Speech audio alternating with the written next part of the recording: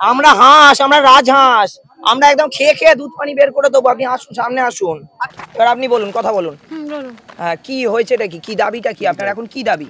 আপনার একটা ছোট মেয়ে যাকে যার সাথে রয়েছেন সে আপনার নিজের সন্তানকে আমি বিছানায় শুয়েছিলাম আমার জ্বর হয়েছিল দিদি মায়ের কাছে দিয়ে আসে। জ্বরের এরকম করেছিল। বলছে কাউকে মানু বলবি না তুই যেটা চাইবি সেইটাই দেবো। তারপরে আমি কাঁদতে কাঁদতে সন্ধ্যাবেলা মাকে বলি। তারপরে মা না শোনার কারণে আমি বাবাকে বলি পিসির ফোন থেকে। তারপরে বাবা বলে যে থানায় গিয়ে জানা। থানায় গিয়ে জানানোর পর এরকম কেস করা হয়। হ্যাঁ ক- হ্যাঁ বলো। ঠিক আছে বলো। বলো। হ্যাঁ দিয়েছে বলো। হ্যাঁ বলো। আমি কি বলছি শোনো? হ্যাঁ একটা কথা মুখ খুলবে না আমি তোমার যেটা বলছি শোনো যেটা সত্যি যেটা তুমি ওইখানে দাঁড়িয়ে আছো কি তো দাঁড়িয়ে আছো? ওরা তোমায় ক্ষমতা নেই তুমি বুঝতে পারছ না তোমাকে বারবার বলছি তুমি ওইখানে গিয়ে তুমি হেফাজত হবে? অ্যাকচুয়ালি এটা আমার মা আসলে কেসটা কি এদের দুজনের মধ্যে অ্যাফেয়ার ছিল আসামির বাড়ির লোক আমাদের পঞ্চায়েতকে জানায় যে তোমাদের এলাকার এরকম একটা মহিলার সাথে আমার ছেলের এই সেই চলছে বলে এদেরকে রাতারাতি ডাকা হলো।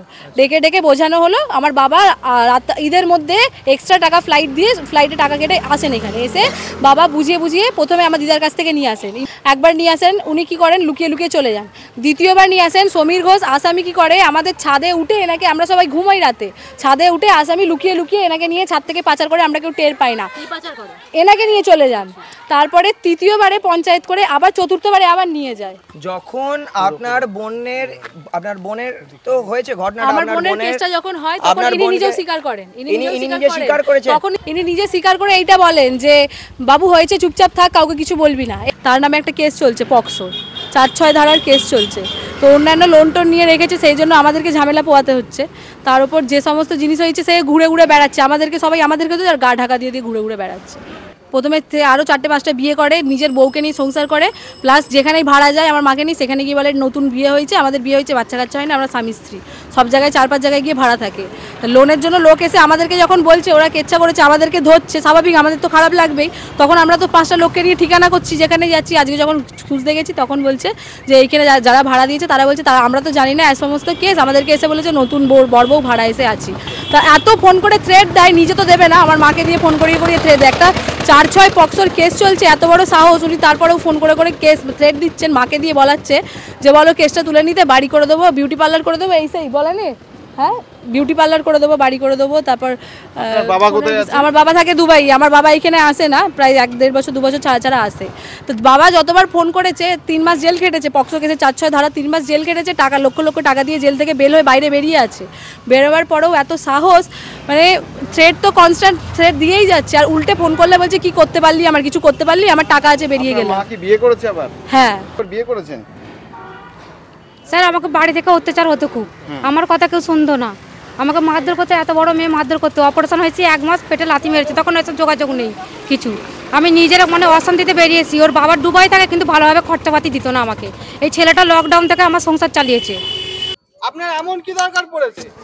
কতটা অভাব ছিল আপনার যে সংসারে? একটু শুনি শুনি তো আমি ঠিক কতটা অভাব আপনার সংসারে। এই তোমরা খেতে পেতে না?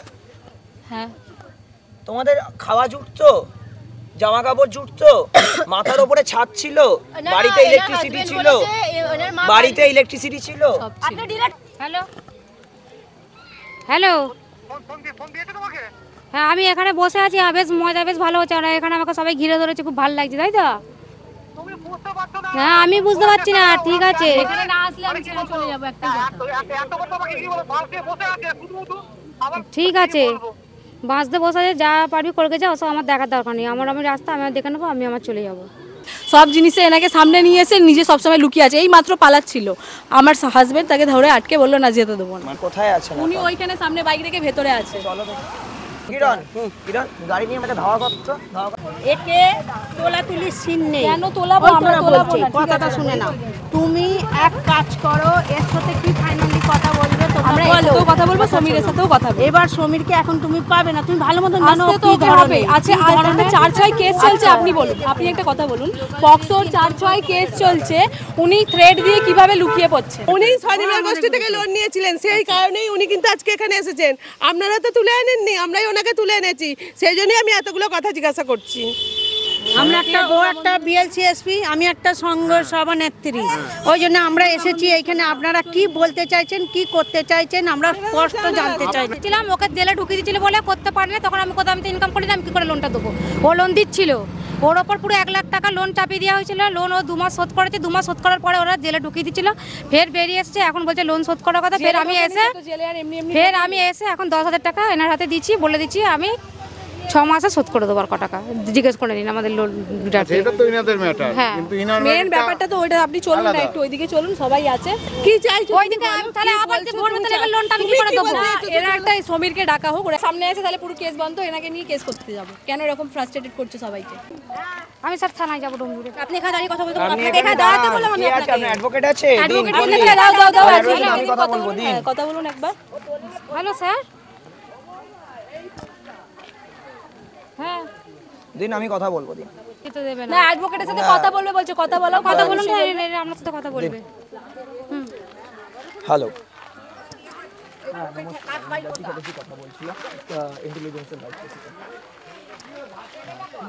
আপনার কাছে এই ম্যাটারটা রয়েছে এই সিক্স অফ পক্সোর যে ম্যাটারটা ইনি যেটার জন্য আপনাকে ফোন করেছেন আপনি কি অ্যাডভোকেট আচ্ছা আপনার নামটা কি? আচ্ছা আমি হাইকোর্টে প্র্যাকটিস করি, ঠিক আছে? আমি সিনিয়র অ্যাডভোকেট কালাল গোঠাগুড়াতার জুনিয়র কথা বলছি, ঠিক আছে? আমি এখানে ইনি যে লোকটির সাথে রয়েছেন, আপনার যিনি আসামি রয়েছে মানে যিনি কে, যিনি অ্যাকিউজড পার্সন রয়েছে, তাকে জাস্ট ডাকা হয়েছিল যে এইটুকুনি সেটেলমেন্ট করার জন্য, আপনি নিশ্চয়ই জানবেন যে এনারা তিনটে বিয়ে করে বসে আছেন, ঠিক আছে? আর একটা তো ডিভোর্স দেয়নি, তিনটে বিয়ে, লোকটি তিনটে বিয়ে, বউটি দুটো বিয়ে, ঠিক আছে? এনারা কেউ এ দেননি এবং এনার একটা নাবালিকা মেয়ে আছে সেই নাবালিকা মেয়ে এবং এনার বড় মেয়েও আমাদের কাছে কমপ্লেন করাতে আমরা এখানে এসেছি। দাদা শুনুন শুনুন আমি একটা কথা বলি। আমি এই ব্যাপারগুলো আপনি বলছেন দুটো বিয়ে তিনটে বিয়ে নয়। আমি সমীর ঘোষের লয়ার আচ্ছা। ওকে আমি বেশ করি। আচ্ছা। মানে আপনি এই ম্যাটারের মধ্যে আর কিছু জানেনই না তাই তো? না না না এই সব আপনি ওকে ওকে থ্যাংক ইউ আপনি সমীর ঘোষকে ডেকে নিয়ে আসুন। ওনাকে তো ডাকলেই মিটে যায়। তখন থেকে আপনি হেঁটেই যাচ্ছেন। আমরা আমাদের আরও কাজ আছে। একটু স্যার আপনারা কি করবেন বলুন না ও তো আসলে তাহলে আমি এবার কি করব? আমাকে আপনাকে শুধু তাকে ডাকা হয়েছে সে থাকবে কিনা এইটুকুনি জানার জন্য সে পালিয়ে গেল। এখনও অবধি আপনি তাকে ডেকে আনতে পারছেন না। আপনি যাদেরকে ডেকে নিয়ে আসলেন, তারা এতক্ষণ ধরে দেড় ঘণ্টা আমাদের সময় নষ্ট করিয়ে দিয়ে চলে গেল। আপনি না নিজের বাড়িতে যেতে যাচ্ছেন। আপনি চাইছেনটা কি? আপনি না আপনার হাজবেন্ডকে ডিভোর্স দিচ্ছেন না নিজের মেয়েদের কথা শুনছেন, আপনার নিজের মেয়েকে আপনি একজন মা মাতৃত্ব বোধ আছে আপনার ভেতরে? আজকে এতগুলো লোককে আপনি দাঁড় করিয়ে রেখে দিয়েছেন। আপনি তখন থেকে যে একজন অ্যাডভোকেটকে ফোন করে যাচ্ছেন সেই অ্যাডভোকেট এসে যখন কথা হলো তিনি বলছেন আমি কিছু জানিই না স্যার আমাকে ছেড়ে দিন। সে আদৌ অ্যাডভোকেট তো? নাকি আবার সেখানেও কোনো গল্প দিয়ে রেখে দিয়েছেন? আমি খবর নিয়ে নিচ্ছি সে অ্যাডভোকেট কি? না আমি সেটা খবর নিয়ে নিচ্ছি। আপনাকে শুধু বলা হলো যে সমীর ঘোষকে ডেকে নিয়ে আসুন। আমরা নিজেরা গেলাম তাকে ডাকতে সে কন্টিনিউ পালিয়ে বেড়াচ্ছে কেন? আরে তাহলে আসছেন না কেন? আপনি তাহলে আসছেন না কেন? আপনি কোথায় আছেন? বলুন আমরা আসছি। এক মিনিট এক মিনিট আপনার হোয়াটসঅ্যাপ নাম্বার আমাকে একটা দিন তো আমি কিছু জিনিস পাঠাচ্ছি আপনি দেখুন। আরে সব শুনব তো আপনি আসুন না। আরে সব শুনব আপনি আসুন না। আপনি আরে সামনে আসুন না সামনে এসে একটু কথা বলুন আমরা কথা বলব আপনার সাথে। এটা কেন বুঝতে পারছেন না? আপনার সাথে আমরা কথা বলব কথা বলার জন্য আমরা এসেছি। আপনি একটু সামনে আসুন। পালিয়ে যাচ্ছেন কেন? আমাকে আপনার হোয়াটসঅ্যাপ নাম্বার দিন আমাকে আমাকে এক্ষুনি কি বলব দুধ দুধ পানিতে পানি হয়ে যাবে আরে দুধ পানি আমরা করছি এখানে আসুন না সামনাসামনি করে দিচ্ছি আমরা হাঁস আমরা রাজহাঁস আমরা একদম খেয়ে খেয়ে দুধ পানি বের করে দেবো। আপনি আসুন সামনে আসুন। আপনি বাড়িতে বাড়িতে আসুন। আপনি আমরা তো আপনার সাথে কথা বলার জন্য এসেছি। আচ্ছা সাথে কথা বলে আমি যাচ্ছি মৌসুমি ফোন না কথা বলেন। কথা না নর ও স্যারের হাতেই আছে তুমি ভুবনেশ্বরী তলায় এসো স্যারেরা কি কথা বলছে বলে নাও। আমি কি বললাম ফোনটা তুমি নাও তোমার সাথে ফোন স্যারের হাতে আমাকে ফোন দেবে না স্যার দিচ্ছে না। না? ওখান থেকে না রব মেরে সামনে আসো। হ্যাঁ হ্যাঁ বলো। ঠিক আছে বলো। বলো।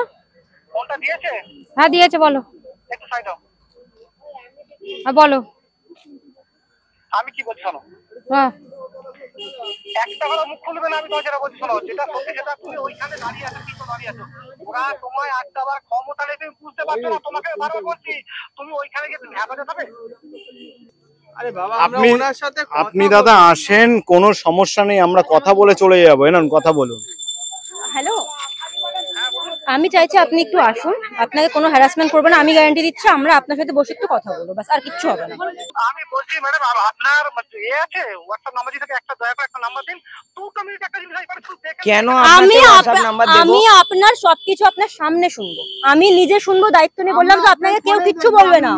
আপনাকে আর এখানে অন ক্যামেরা আপনাকে বলছি আপনার গায়ে কেউ হাত দেবে না আপনার লোম কেউ ছোবে না। এখানে এতগুলো এলাকার লোককে দাঁড় করিয়ে বলছি আপনি শুধু সামনে আসুন। আমি একটা কথা বলছি আমি যে জায়গাতে ঘুরে এসেছি গায়ে হাত দেওয়ার ব্যাপারটা প্রশ্ন আমি শুনুন আমি আজকে পরিষ্কার আছে দুখানে আমার নামে কেস করেছিল দুখানে আমি বেল করে বেরিয়ে এসেছি।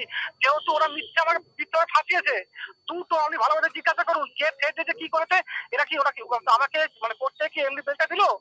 আপনি যেগুলো বলছেন আমি সেগুলো সামনে শুনতে চাই। আমি ফোনে শুনতে চাইছি না। আপনি আমার কথাটা ক্লিয়ার বুঝতে পেরেছেন? কোনটা শুনুন প্রথম থেকে কথা শুনুন। প্রথম থেকে বসেন। আমার কথাটা প্রথম থেকে শুনুন। যে এখানে, বসুন। বসুন প্রথম থেকে কথাটা আমার শুনুন প্রথম থেকে? এ হয়ে গেছে আপনি বসুন। বসুন বসুন বসুন। হ্যাঁ বলুন। প্রথম থেকে এই দোকানে আমি ফোন সারাতে আসি প্রথমে। আচ্ছা। দোকানে আমি ফোন সারাতে আসি। আচ্ছা। ফোন সারানো হয়। পাড়ার হিসেবে জানাশোনা থেকে কথাবার্তা বলি। প্রথম থেকে যেটা সত্যি কথা স্যার সত্যি কথাই বলি। আচ্ছা। ঠিক আছে? এর সঙ্গে ধন্যবাদ। এর সঙ্গে কথাবার্তা বলি আমি। আচ্ছা। এইবারে সেই নিয়ে এবারে আমার হাজবেন্ড যে অনিক চক্রবর্তী এবার একটা বাড়ি করছিল তার জন্য আমি এই লোন নিই। লোন নিয়েছিলাম তা এক লাখ কত সালে? এক লাখ টাকা একুশে। দু হাজার একুশে হ্যাঁ। নিয়েছিলেন। আচ্ছা। হ্যাঁ। বাইশ পেরিয়ে এটা হচ্ছে তেইশের শেষ। হচ্ছে হ্যাঁ। তো যখন ওই বাড়িতে ছিলাম আমি লোনটা আমার স্বামী দেয়নি। একটা জিনিস বন্ধক দিয়ে কিছু টাকা কাজে লেগেছিল একটা নেকলেস বন্ধক দিয়েছিল। তো টাকাটা আমার ষাট হাজার টাকা পাঠিয়েছিল। টাকা পাঠিয়ে বলল ওই নেকলেসটা সারিয়ে নিতে। তাই বলল লোন দিতে হবে। তাহলে সুদ টাকালি দিতে ও মাসে লোনটা দেবো। সেখানে আমাকে অশান্তি এরা করছে বাড়ি থেকে। ওরা তো শুনবে না। স্বামীর কথা তো লোন নেকলেস ছাড়িয়ে বাড়িতেই ছিল। ওকে জিজ্ঞেস করুন জিনিসপত্র ছাড়িয়ে আলমারিতে। এইবারে স্যার দিনের পর দিন সংসারের যে খরচাটা ভালোভাবে দিত না ওকে জিজ্ঞেস করুন। ও সামনে বসাতে যে মিথ্যে কথা বলে। তা এর ছেলেটার সাথে কথা বলতে ভালোভাবে দিত না। এটা সত্যি কথা দিত ভালোভাবে দিত না না দিত না? না মানে ওই দেনাদানি শোধ দিত আবার একটা মাস দিতই না আবার একটা মাস পুরো বন্ধ। না ভালোভাবে চলতো না। আমি একটা কারবার করতাম ওখানে থেকে। ও দুবাই থাকা সত্ত্বেও আমি একটা লটখানের কারবার করতাম। হ্যাঁ পাড়াটাইকে জিজ্ঞেস করবেন। পাড়ায় পাঁচজনকে দিয়ে আমি ওই কাজ করাতাম। সেই ইনকাম করে আমি নিজের সংসার চালিয়েছি। আর ওর বাবা টাকা পাঠিয়ে পাঠাতো ওটা দেনাদানি দেওয়া হতো। এমন যে বিল্ডাসে মাল নিয়েছি সেখানে টাকাটা যতই সে খারাপ মাল দিক বা খারাপ ব্যবহার হোক তার টাকাটা শোধ করে তবে তো আমি অন্য জায়গায় মালটা নিতে যাব। সেটা উনি করলেন না। কি করলেন? আগ বাড়িয়ে অন্য জায়গা দিয়ে আমাকে মালটা নিয়ে গেলো সেখানে বাড়িতে এসে আমাকে এরকম অত্যাচার এরকম বাত- বাড়িতে এসে অত্যাচার অশান্তি সেখানে করল। সেই আগের বিল্ডাসওয়ালাটা যেহেতু আমি অন্য জায়গায় মালটা নিচ্ছি ওনার কথা। আমি বারো বলুন তাকে এটা ঠিক হচ্ছে না। ও কোনো কথা শোনে না ওখান থেকে। তো বিল্ডাস থেকে মালটা নেওয়ার পর আমাকে মারতে আসে বাড়িতে। বিল্ডাসওয়ালার বউ বিল্লাসওয়ালা সে এক সমস্যা থেকে ওটা আমি কোথায় পাবো? তখন টাকা হতো। তখন স্যার আমার একটা আংটি ছিল। আমি নিজেই করেছিলাম ডটকনের ব্যবসা করে। তখন এই ছেলেটাকে আমি বললাম এরকম আমাকে এরকম বাড়িতে মারতে আসছে বা পাড়ার লোক জড়ো হয়ে গেছে মান সম্মানের ব্যাপার আছে। তো কিছু টাকা দিতে পারবে? ধার তাহলে আমি টাকাটা আমি শোধ করে দেবো। ও স্যার বলতে না বলতে এগারো হাজার টাকা দিয়েছে। আমার কাছে আংটি বিক্রি করে বারো হাজার টাকা না ন হাজার টাকা হয়েছিল। ছেলেটার থেকে এগারো হাজার টাকা নিয়ে কুড়ি হাজার টাকা পুরো করে আমি সেই বিল্লাসওয়ালাকে সেই টাকাটা দিই। আমি বললাম হ্যাঁ যে দশ হাজার টাকা আমি ধার নিয়েছিলাম স্যার ওকে মিটে দেবো বলেছেন ধার নিয়েছিলাম। যে আমি বিজনেস করি একটা হ্যাঁ, আমি কাজে লেগে গেছিলাম স্যার কাজ করতাম। এই কদিন ভাড়া ছিলেন কোথায় এই এইখানে এই কদিন এসেছি আমি কাজে লেগে গেছিলাম। আমি সমীর কাজ ঘোষের সঙ্গে থাকতেন। হ্যাঁ ও দোকানে থাকতো মাঝে মাঝে আসতাম আমার খাবার খরচা ও দেয়। আমি বিয়ে করিনি আমি বিয়ে করিনি স্যার। তখন তো বললেন বিয়ে না না আমি বিয়ে করিনি। তখন দাঁড়িয়ে পড়েছি থেকে আমি বিয়ে করিনি আমি এমনিই থাকি। জ্বরের মধ্যে আমি ওকে মায়ের কাছে দিয়ে আসি। তো এই সমস্ত ঘটনা যে ঘটে, আমার বোন আমাকে এত ভয় পায় তো, সত্যি ভয় পায়, ও আমাকে এত কথা বলেনি। ওকে নিয়ে এসেছি বাড়ির মধ্যে, পরের দিনকে বেশ সব সমস্ত ঠিক আছে। দু চার দিন পরে দেখছি এই আমাকে ডাইরেক্ট কিছু বলেনি। আশেপাশে লোক আমাকে এসে হট করে ভয় দেখাচ্ছে। আমি বললাম, কি হলো? কি ব্যাপারটা? তখন শুনছি, তুই জানিস না তোর বোনকে তোর মায়ের কাছে দিয়ে এসেছিস, এই এই ব্যাপার। লাস্টে যখন এদেরকে কল করি, এই এই ব্যাপার, তখন এরা আমাকে বলে, সমীর ঘোষ আমাকে বলে যে, এই এই না, সমীর ঘোষ আমাকে বলে, এই এই হয়েছে, জানিস? আমাকে এই এইভাবে ফাঁসিয়েছে। আমি তো অবাক, আমি তো জানি না, সে পক্ষে আমি ওদেরকে ফোন করে জিজ্ঞাসা করছি এই এইটা কি হয়েছে? তখন বলছে না না হয়নি।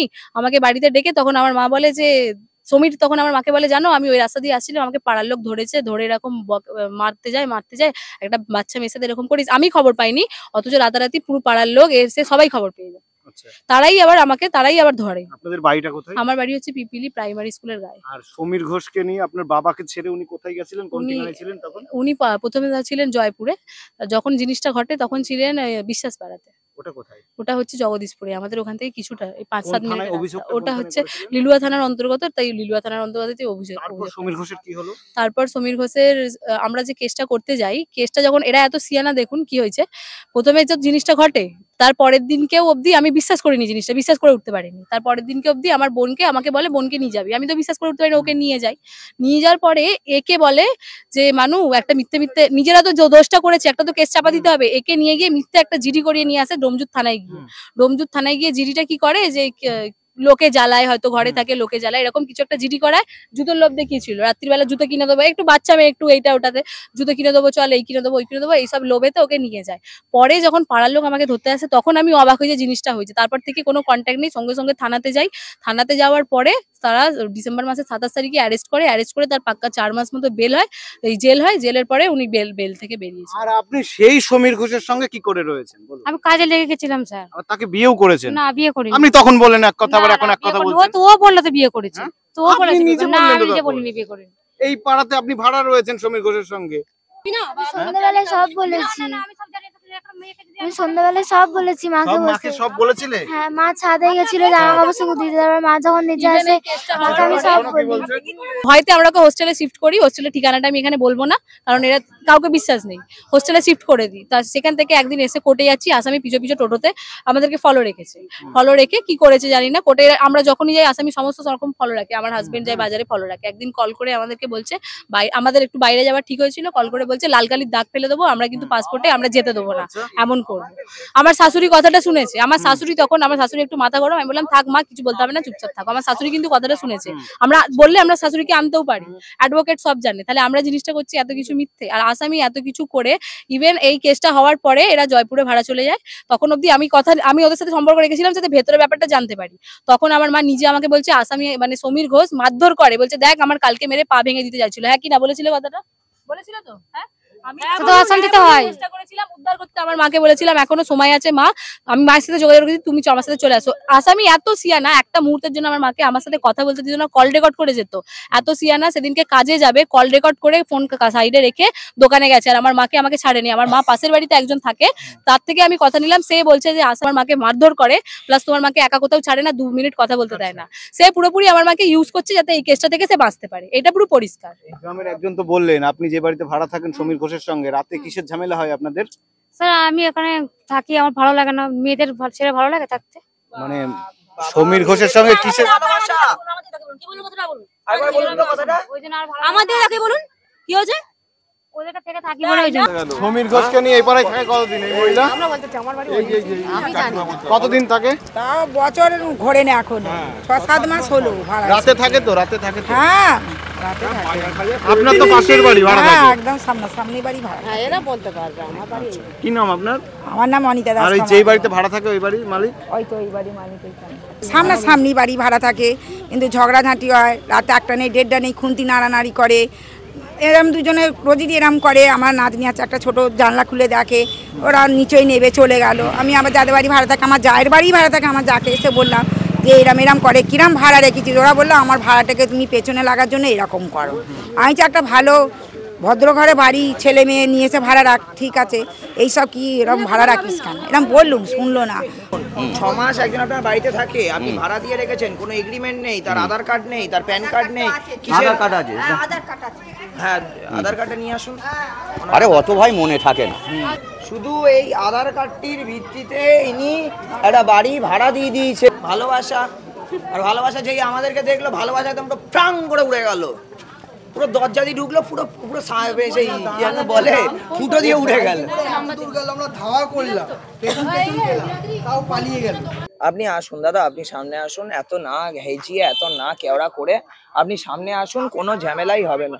আপনাকে একটা কথা বলেছি দাদা ভাই, আপনি যদি শুনুন, আপনি সত্য আপনি সত্য, আপনি সৎ, আপনি ঠিক, আপনি ভুল নন, আপনি ঠিক হ্যাঁ কি না হ্যাঁ কি না, আপনি আপনার কাছে ঠিক, তাহলে আপনি সামনে আসতে আপনার ভয়টা কোথায় লাগছে? শুনুন যে অপরাধ করেছি সেই অপরাধে আমি সাজা সাজা কেটেছি যেটা অপরাধ করেছি আমি ওর মা আমার সঙ্গে মানে কি বলব যে যে সম্পর্ক আছে সেইটা করলে তো জানো যে জিনিসটা করেছি সেইটা নামে ফাঁসিয়েছে আজকে পুরো গোটা কেসটা আমার ফোনে রেকর্ডিং আছে।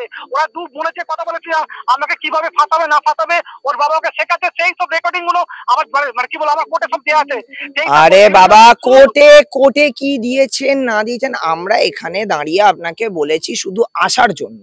আপনি তখন থেকে মানে না আসবার জন্য। আপনি আবার আপনার বউকে বলছেন যে ওখানে কিন্তু একটাও মুখ খুলো না। সেটাও রেকর্ডিংটা হয়ে গেছে এখানে।